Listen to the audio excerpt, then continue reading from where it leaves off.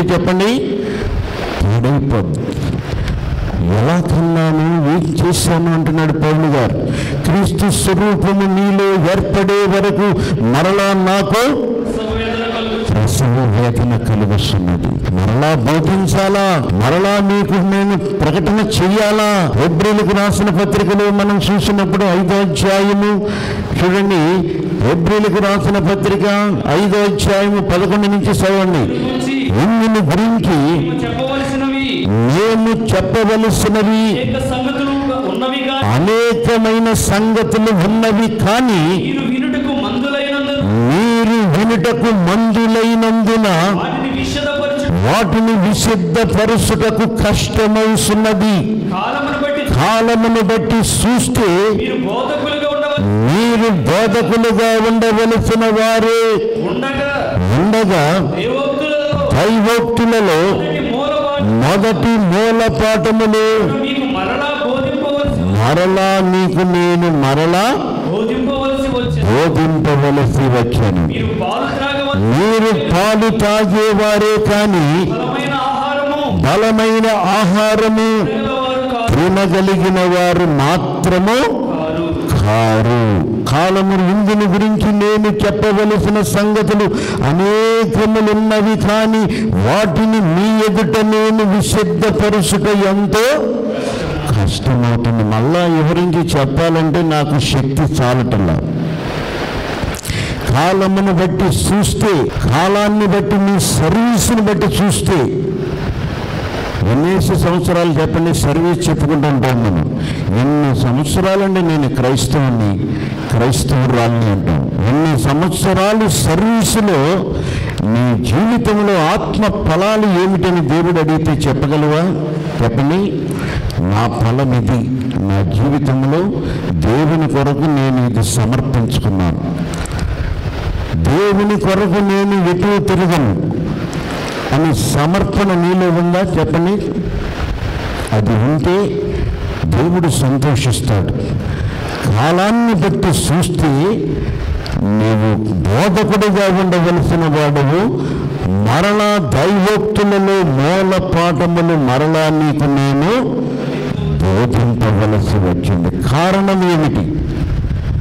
ఆత్మీయ జీవితాన్ని కోల్పోతమే ఆత్మీయ పతనాన్ని చూసి పౌలు గారు బాధపడుతున్నాడు అరవై కొరందీలకు సంఘంలో ఎంత ఆత్మీయులుగా ఎదిగిన ఈ సంఘానికి? అనేక హింసలు అనేక శ్రమలు పడి సువార్త సత్యాన్ని బోధించే ఆ బోధలో ఉన్న సత్యాన్ని చూసి వారు రక్షణ పొంది ఎంత అల్పులుగా మారిపోయారేంటి? ఎంత ఆత్మను దేవుని ఆత్మను దుఃఖపరిచే వారిగా ప్రవర్తిస్తున్నారేంటి? కనుక నా ప్రసవ వేదన తెలుసుకోనండి. నాలో ఉన్న వేదన మీరు వినండి తెలుసుకోనండి.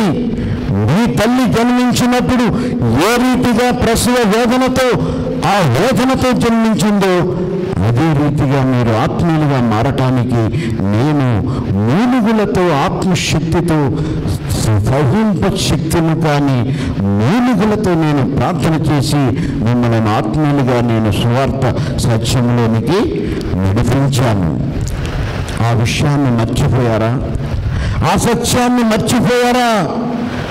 అని చెప్పి పౌలు గారు మాట్లాడుతూ ఉండగా ఆ వేదనలో అనేకులు అక్కడ దేవుని వాక్యాన్ని మర్చిపోయిన వారందరూ కూడా మరలా వారి జీవితంలో ఆ పునరుద్ధాన శక్తిని వారు పొందుకున్నారు.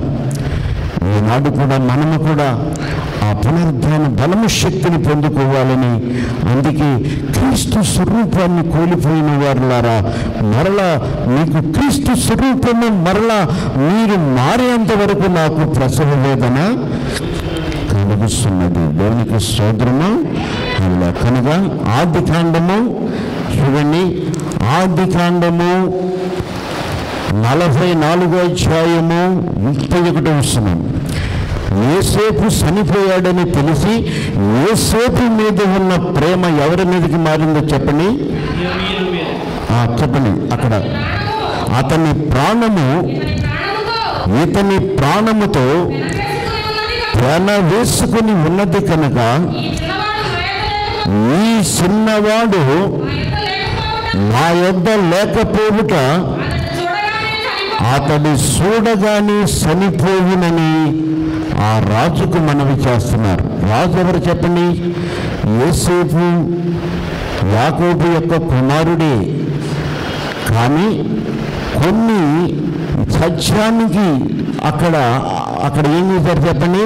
సత్యమునకు చెవినివని వారు ఆ సత్యాన్ని అడ్డము తొలగించుకున్నారు.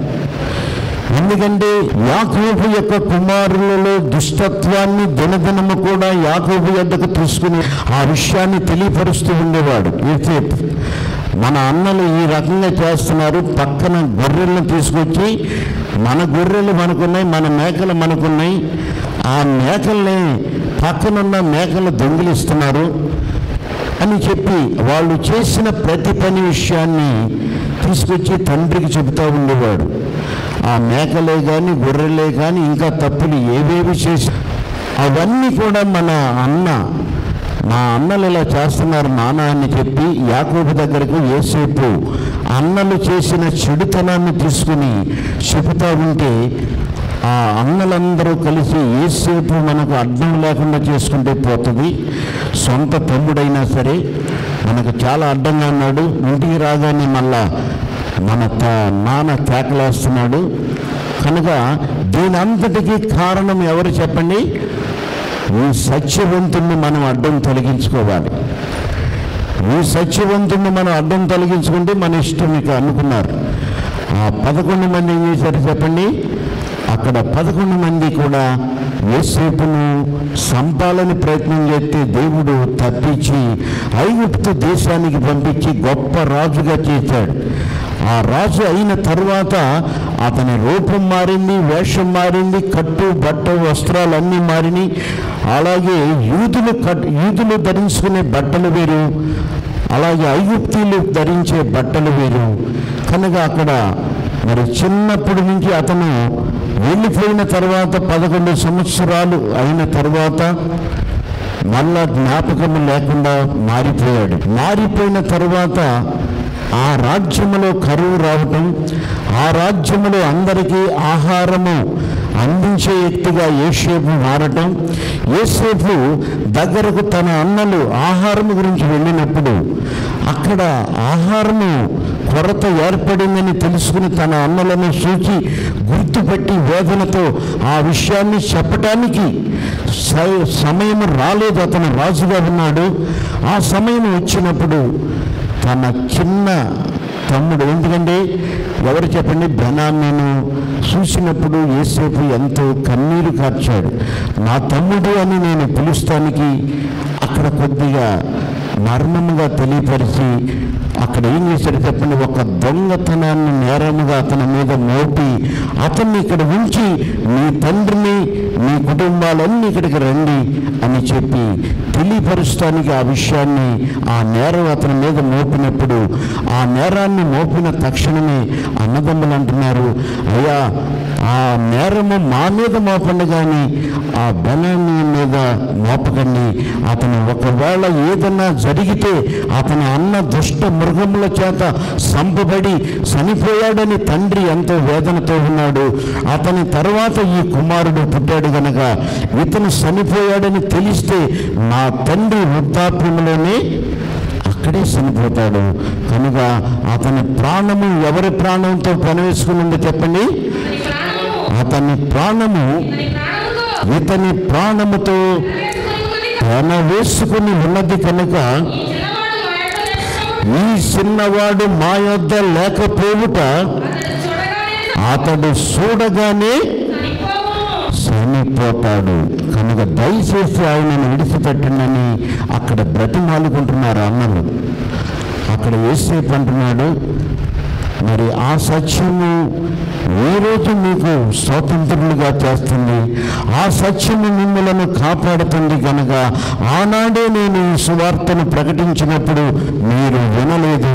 ఆ సత్యము ఈరోజు మిమ్మలను కాపాడుట కొరకు మీ ఎదుట నిలబడి ఉన్నది అని ఆ సత్యం చెప్పడానికి అంత వేదన పడ్డాడు యోసేపు. పడినప్పుడు తండ్రి ఎందుకంటే ఆ ప్రేమను తెలియపరిచినప్పుడు అక్కడ ఎంతో యోసేపు ఇంకా దుఃఖించాడు. దేవునికి సోదరము అలా అక్కడ దుఃఖించి అంటున్నాడు ఆ విషయాన్ని సొంత నాన్న చనిపోవటం అతనికి ఇష్టం లేదు. అలాగే అన్నదమ్ములందరూ కూడా బాధపడటం ఇష్టం లేదు కనుక ఆ విషయాన్ని తెలియపరిచి మీరందరూ కలిసి త్వరగా రండి. ఇంకా అనేక సంవత్సరాలు భారమైన కరువు శోధనలు కాలము మన ముందు ఉన్నది. మీ కొరకే మీ రక్షణ కొరకే దేవుడు నన్ను ఈ దేశానికి పంపించి ఉన్నాడు అని ఆ విషయాన్ని తెలియపరిచాడు. దేవునికి సోదరము అలా కనుక దేవుడు సత్యాన్ని ప్రకటించినప్పుడు నమ్మకపోతే అది ఎప్పుడు తెలుస్తుందో చెప్పండి? ఏదో ఒక రోజు అది నీతో మాట్లాడినప్పుడు ఆ రోజు కూడా నీ పశ్చాత్తాప పడకపోతే ఇంకా నీ జీవితంలో ఇక మేలుకు స్థానము లేదు. దేవునికి సోదరము చేయాలా? కనుక దేవుడు అన్ని విషయాలలో మనల్ని ప్రేమించిన దేవుడు మన కొరకు అనేక విషయాలు తెలియపరుస్తున్నాడు. కాలమును బట్టి మీరు చూస్తే బోధకులుగా ఉండవలసిన వారు ఇప్పుడు మీరు ఎలా ఉన్నారు చెప్పండి?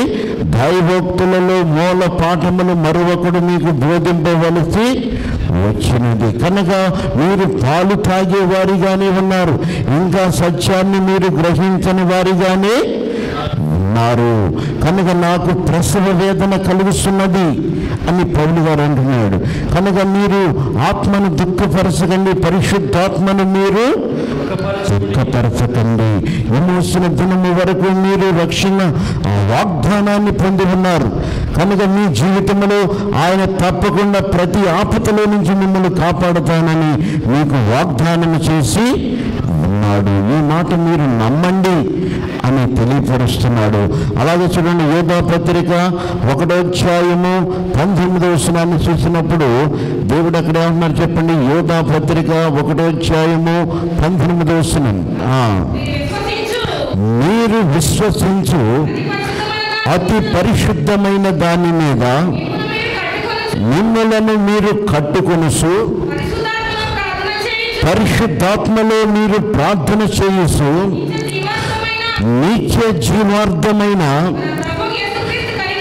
మన ప్రభు యేసుక్రీస్తు కనికరము అయిన యేసుక్రీస్తు కనికరము కొరకు కనిపెట్టుసు దేవుని ప్రేమలో మీరు నిలుస్తున్నట్లు కాసుకొని ఉండండి.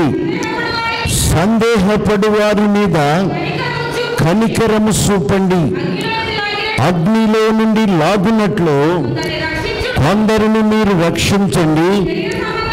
శరీర సంబంధమైన వారి అపవిత్ర ప్రవర్తనకు ఏ మాత్రము మీరు ఒప్పుకొనక దానిని మీరు అసహించుకొనుసు భయముతో కొందరిని మీరు కరుణించండి ప్రియులారా మీరు విశ్వసించి అతి పరిశుద్ధమైన దాని మీద మిమ్మలను మీరు కట్టుకొనుసు పరిశుద్ధాత్మలో ప్రార్థన చేయుసు. నిత్య జీవార్థమైన మన ప్రభు అయిన యేసుక్రీస్తు కనికరము కొరకు మీరు కనిపెట్టుకొని ఉండండి. కనిపెట్టుకొని ఉండండి. దేవుని యొక్క ప్రేమలో మిమ్మలను మీరు కట్టుకొనండి. ఆయన ప్రేమలో నిలుస్తున్నట్లుగా మీరు కాసుకొని ఉండండి దేవుని ప్రేమ తెలుసుకునండి. దేవుడు మిమ్మల్ని ఎంత ప్రేమించాడు. కనుక ఆయన ప్రేమలో నిలిచినట్లుగా మిమ్మలను మీరు పరిశుద్ధాత్మలో మీరు పాలివారైనట్లుగా మిమ్మలను మీరు కాసుకొని ప్రార్థనలో నిలబడండి. కనుక ప్రార్థనలో ఉండండి. కనుక శరీర సంబంధమైన అపవిత్రమైన వారు మీలో కొందరు ఉన్నారు కనుక వారి ప్రవర్తనకు ఏ మాత్రము మీరు ఒప్పుకొనక వారిని మీరు అసహించుకు అసహించుకుని అలాంటి వారు మీలో అపవిత్రమైన ప్రవర్తన కలిగిన వారు ఎవరైనా ఉంటే వారిని ఏం చేయాలి చెప్పండి మీరు? అసహించుకునండి మీరు రక్షించబడతారు. వారితో సాంగత్యం చేయమాకండి. ఈ రోజు చెడ్డ సాంగత్యము కావాల్సి వస్తుంది. ఎందుకంటే మంచి నడవడి సంఘములో కనపడతలా చెడ్డ సాంగత్యం చెడ్డ ఆలోచనలు. కనుక ఈ మాటలు ఉంటేనే సంఘానికి ఆనందంగా ఉంటుంది. కనుక దేవుడు అంటున్నాడు అట్టి వారిని మీ మధ్యలో అసహించుకునండి అట్టి వారికి మీరు దూరముగా ఉండండి. అట్టి వారిని అగ్నిలో నుంచి లాగే విధముగా సువార్త సత్యాన్ని తెలియపరచండి. కనుక మిమ్మల్ని మీరు రక్షించుకొనండి. ప్రియులారా మీరు విశ్వసించద్దు పరిశుద్ధమైన దాని మీద మిమ్మల్ని మీరు కట్టుకొనుసు పరిశుద్ధాత్మలో ప్రార్థన చేయుచు నిత్య జీవార్థమైన మన ప్రభు అయిన యేసుక్రీస్తు కనికరము కొరకు కనిపెట్టుకొనుసు దేవుని ప్రేమలో మీరు నిలుసున్నట్లుగా కాసుకొని మీరు ఉండండి అని తెలియపరుస్తున్నాడు. కనుక దేవుని ప్రేమలో నిలబడండి. అపవిత్రమైన మాటలు బుద్ధిహీన తలంపుల యొక్క ఆలోచనలలో మీరు ఎగబడి వారితో నడవకండి నడిస్తే మీకే ప్రమాదం. మీ ఆత్మీయ జీవితం ఏమిటి చెప్పండి? మన పితరులందరూ మేలు కలిగిన చెడ్డ వాటిని ప్రేమించారు. చెడ్డ ఆలోచనల మీదే దృష్టి కలిగి ఉన్నారు. కనుకనే వారు ప్రేమించిన వాటిని మీరు ప్రేమింపకండి. ఈ సంగతులు ఈ కడవరి దినాలలో మనకు దృష్టాంతరములుగా రాయబడి ఉన్నాయి. దేనికి సోదరము అలా కనుక వారు నశించిపోయారు అనేక ఆశ్చర్య కార్యాలు చూశారు అనేక మేళ్ళు పొందుకున్నారు అనేకమైన వారి కుటుంబాలలో వేదనలన్నీ తొలగిపోయినాయి. కానీ చెడ్డవాటిని ప్రేమించి వారు మేలుకరమైన దీవెనలు పొందుకోలేకపోయారు. కనుక వాటిని అసహించుకునండి కనుక ఈరోజు మనము దేవుని సన్నిధిలో కొరిందులకు రాస్తున్న ఆ సంఘాన్ని మనం చూసినప్పుడు పౌలు గారు ఎంతో వేదనతో ఆ విషయాన్ని తెలియపరుస్తూ అంటున్నాడు అక్కడ మరలా నేను నాలుగో అధ్యాయం మనం చదువుకున్నాం కదా ఆ క్రీస్తు నందు ఉపదేశకులు మీకు ఉపదేశకులు పది వేల మంది ఉన్నను. తండ్రులు మాత్రం మీకు అనేకులు లేరు.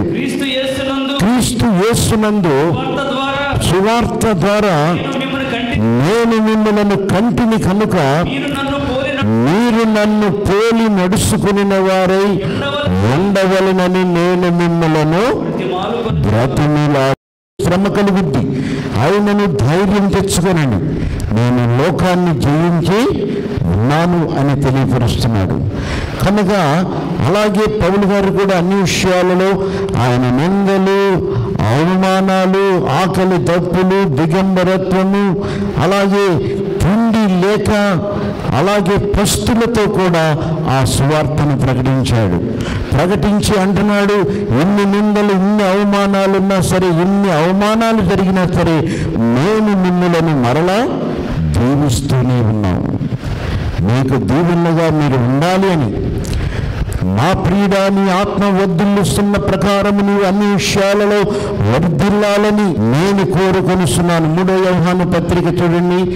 మొదటి అధ్యాయం రెండో వచ్చిన క్రీడ నీ ఆత్మ వర్ధిల్లుస్తున్న ప్రకారము నీవు అన్ని విషయాలలో వర్ధిల్లుసు సౌఖ్యముగా ఉండవలనని ప్రార్థించుస్తున్నాను నీవు సత్యమును అనుసరించి నడుచుకునిస్తున్నావు కనుక సహోదరులు వచ్చి నీ సత్ప్రవర్తనను చూసి సాక్ష్యము చెప్పగా విని బహుగా సంతోషిస్తున్నాను అంటున్నాడు అక్కడ. ఒక దైవజనుడు అంటున్నాడు ఓ ప్రియుడా నీ ఆత్మ వర్ధిల్లుస్తున్న ప్రకారము నీవు అన్ని విషయాలలో వర్ధిల్లాలని. నా పరిస్థితిని గురించి నీవు ఆలోచించవద్దు కానీ నీవు వర్ధిల్లాలి. ఈ శ్రమలలో ఈ సువార్తను నమ్మి నీ కుటుంబాన్ని కట్టుకోవాలి నీవు జీవితంలో సంతోషంగా జీవించాలి నీవు బహుగా ఫలించాలి అని కోరుకుంటున్నాను. కనుక నీ ఆత్మ ఇంకా వర్ధిల్లుస్తున్న ప్రకారము నీవు అన్ని విషయములో సౌఖ్యముగా ఉండాలని నేను ప్రార్థించుస్తున్నాను కనుక మేము నిందించబడి కూడా మీకు మేము దీవించుస్తున్నాము మేము అవమానమునందు కూడా మీకు దీవెనలు కలగజేస్తున్నాం. ఎందుకు కలగజేస్తున్నామంటే మీకు ఇంకా తెలియని వారిగానే ఉన్నారు. ఇంకా మీరు పసిపిల్లలుగానే ఉన్నారు. క్రీస్తు సత్యము మీరు ఎరగని వారిగానే ఉన్నారు కనుక మేము నిందించబడుతున్నాం అవమానాలు పొందుతున్నాం పిడిగుద్దులు తింటున్నాం అనేక శ్రమలు అనుభవిస్తున్నాం. మీ నోటి దురుసు మాటలన్నీ కూడా మేము భరిస్తున్నాం దేని భరిస్తున్నామంటే క్రీస్తు స్వరూపము మీలో ఏర్పడే వరకు. క్రీస్తు స్వరూపం మీలో ఉంటే ఈ మాటలు మీరు మాట్లాడరు. ఏం మాట్లాడతారు చెప్పండి? దేవుని పని కొరకు దేవునికి ఏమి చెయ్యాలా అని మీరు వెళతారు. క్రీస్తు స్వరూపము లేనప్పుడు ఏ మాట పడితే ఆ మాట మీరు నోటముట మాట్లాడుతూ ఉంటారు. కనుక దేవుడు అందుకే క్రీస్తు స్వరూపము మీలో ఏర్పడే వరకు నాకు ప్రసవ వేదన కలుగుతున్నది దేనికి సోదరము అలా కనుక నా ప్రియుడ నీవు ఇంకా వర్తిల్లాలి ఎందుకంటే దేవుళ్ళు సర్వ సత్యములో నీవు నడిచినప్పుడు ఆ సత్యములో నీవు వర్ధిల్లుతావు. అనేక విషయాలలో నీకు దీవెనకరంగా ఉండాలని నీ కొరకు నేను ప్రార్థన చేస్తున్నాను అని దైవజనుడు తెలియపరుస్తున్నాడు. దేవునికి స్తోత్రము? అవును. కనుక దేవుడు మనకిచ్చిన ఈ వాక్యములో దేవుడు మనతో మాట్లాడుతున్నాడు. కనుక సువార్త ద్వారా నేను మిమ్మలను కన్నాను. కనుక ఎలా కన్నాడు చెప్పండి పౌలు గారు? సువార్తను నీకు నేను ప్రకటించి ప్రసవ వేదనలో నేను మిమ్మలను కంటిని కనుక మీరు నన్ను పోలి నడుచుకుని వారిగా ఉండాలని నేను మిమ్మలను మారుకొనిచు దేవునికి స్తోత్రము అలా దేవుని వాక్యము దీవించునుగాక. దేవునికి వందనాలు అయ్యగారికి వందనాలు అమ్మగారికి వందనాలు బలిపీఠానికి నా వందనాలు. ఇక్కడ వచ్చిన మీ అందరికీ నా హృదయపూర్వక వందనాలు చెల్లించుకున్నాను నా పేరు రాజేషు. నేను బోడపాడు నుంచి వస్తాను. నేను ఈ ఈ సన్నిధికి రెండు వేల పద్నాలుగులోనే వచ్చాను. రెండు వేల పద్నాలుగులో అంటే ఎయిర్ ప్రాబ్లం గాలి పీల్చుకోవడం ఇబ్బందిగా ఉండేది నైట్ పూట. నైట్ పూట ఇబ్బందిగా ఉంటే మా చుట్టాలు వస్తూ ఉండేవాళ్ళు ఈ సన్నిధికి రామని చెప్పారు. నేను రెండు వేల పద్నాలుగులోనూ ఆ ప్రాబ్లంతో వచ్చాను. ప్రార్థన చేయించుకున్నాను మూడు వారాలు కంటిన్యూగా నడిచాను. నాలుగో వారం ఉద్యోగం ప్రైవేటు జాబ్ చేయడం వల్ల వేరే ఊరు వెళ్ళిపోవాల్సి వచ్చింది. అలాగే రెండు వేల పద్నాలుగు అయిపోయిన తర్వాత రెండు వేల పదహారు వరకు నేను అలా జాబ్ చేస్తూనే ఉండేవాడిని. రెండు వేల పదిహేడో సంవత్సరంలో ఆ- జాబ్ రిజైన్ చేసేసి గవర్నమెంట్ జాబు ఎలాగైనా ట్రై చేయాలని గవర్నమెంట్ గవర్నమెంట్ జాబ్ కోసం ఈ విజయవాడలోనే కోచింగ్ సెంటర్లో జాయిన్ అయ్యాను. అలా రెండు వేల పదిహేడులో రెండు వేల పదిహేను నుంచి రెండు వేల పద్దెనిమిది వరకు నేను జాబ్ కోసం ట్రై చేస్తూనే ఉన్నాను. సంవత్సరానికి నియర్లీ దగ్గర దగ్గర పది నుంచి పన్నెండు ఎగ్జామ్స్ రాస్తూ ఉండేవాడిని. అలా రెండు వేల పదిహేను నుంచి పద్దెనిమిది వరకు ట్రై చేస్తూ ఉన్నాను. ఏ ఒక్క జాబ్ కూడా నాకు రాలేదు. రెండు వేల పద్దెనిమిదిలో నేను ఒకే నిర్ణయం తీసుకున్నాను. నేను ఎలాగైనా విశ్వాస మందిరంలో రావాలి. విశ్వాస మందిరంలో సాక్ష్యం చెప్పుకుంటాను. అప్పుడే నాకు ఈ జాబ్ అనేది వస్తుందన్న నమ్మకంతో నేను తిరిగి రెండు వేల రెండు వేల పంతొమ్మిది రెండు వేల పంతొమ్మిది జనవరిలో స్టార్ట్ చేశాను. మళ్ళీ తిరిగి ఈ సన్నిధికి రావడం. అలా స్టార్ట్ చేశాను రెండు వేల పంతొమ్మిదిలోనే జనవరి ఇరవై ఒకటిలోనే నేను ఒక ఐబీపీఎస్ క్లర్క్ అనే ఎగ్జామ్ ఉండిద్ది. ఆ ఎగ్జామ్కి మెయిన్స్ ఎగ్జామ్ రాశాను. మెయిన్స్ ఎగ్జామ్ ఆ ఎగ్జామ్ రాసేటప్పుడే నేను నాకు జాబ్ కన్ఫామ్గా వచ్చేసిద్ది అన్న ఎంతో కాన్ఫిడెన్స్తో రాశాను. అదేవిధంగా నేను ఆ స- జనవరి నుంచి కంటిన్యూగా కంటిన్యూగా వస్తూనే ఉన్నాను. అమ్మగారు అయ్యగారు చెప్తున్నాను నువ్వు ఏడు వారాలు నడువయ్యా నీకు జాబ్ గ్యారంటీగా వస్తుందని చెప్పారు. అలాగే ఏడు వారాలు ఏంటయ్యా నేను నాకు నా నేను ఈ సన్నిధిలో సాక్షిగా నిలబంత వరకు ఈ సన్నిధిలో నేను వస్తానని అనుకున్నాను. అదేవిధంగా రెండు వేల పంతొమ్మిది ఏప్రిల్ ఫస్ట్ తారీఖున ఆ రాసిన ఎగ్జామ్ రిజల్ట్స్ వచ్చాయి. మీరు బ్యాంక్ ఆఫ్ ఇండియాలో సెలెక్ట్ అయ్యారని అప్పుడే అమ్మగారికి చే ఫోన్ చేసి చెప్పాను వచ్చాను. ప్రార్థన చేసుకుని అమ్మగారు ఇలా జాబ్ వచ్చింది అని చెప్పాను. నువ్వేమనుకోకయ్యా సాక్షిగా నిలబెడతాను అనుకో అన్నారు. అలాగే వచ్చింది సాక్ష్యం చెప్పుకున్నాను. అలాగే నాకు మొన్న రెండు వారం క్రితం నాకు ఈ తణుకు దగ్గర బ్రాంచ్లో ఇచ్చారు. ఈ పదిహేనో తారీఖు లోపు మీరు జాయిన్ అవ్వాలి రిపోర్ట్ చేయమని చెప్పారు. నేను ఈ బుధవారం బయలుదేరి ఆ ఊరు వెళ్తున్నాను. ఏంటంటే నాకు ఎప్పుడు ఏ ఇన్ని సంవత్సరాలు ఉన్నాయి కానీ ఎక్కడ నేను ఒంటరిగా ఉండలేదు. ఆ ఒంటరితనం నన్ను దగ్గర దగ్గర మీరు అక్కడ తణుకు దగ్గర వచ్చింది అని మేలు పంపించిన కాడ నుంచి నాలో ఏదో వేదన. ఏ వేదన అంటే ఎవరికి చెప్పుకోలేనిది నా బాధ. ఆ వేదన ఏంటంటే ఎంతవరకైనా తీసుకెళ్ళిపోతుంది. ఏదో అసలు ఆలోచన నేను ఎంత ప్రార్థన చేసుకున్నా సరే ఆ ఆలోచన మటుకి నన్ను వేయటం లేదు.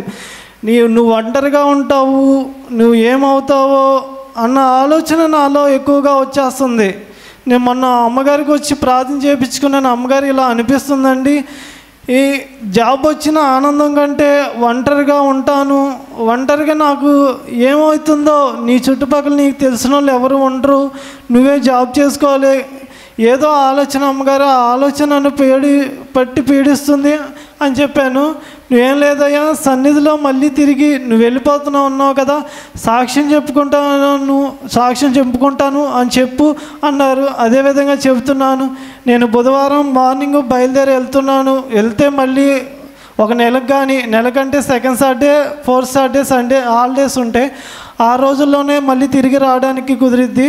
అలాగే నా కోసం నాకు ధైర్యం కావాలని ధైర్యంతో నేను అక్కడ జాబు ఎటువంటి ఇబ్బంది లేకుండా ధైర్యంతో జాబ్ చేయాలని నా గురించి మా కుటుంబం గురించి ప్రార్థన చేయమని ఈ గొప్ప సాక్ష్యాన్ని దేవుడు దీవించునుగాక.